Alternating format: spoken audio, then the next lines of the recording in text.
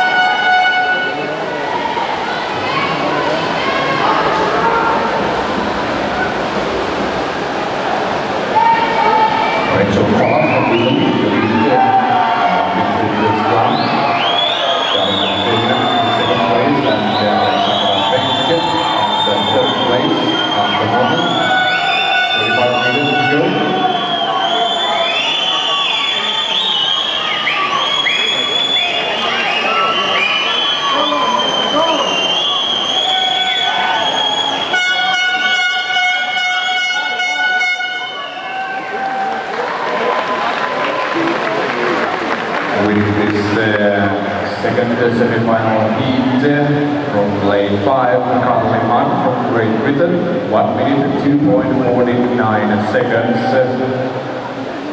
Results of the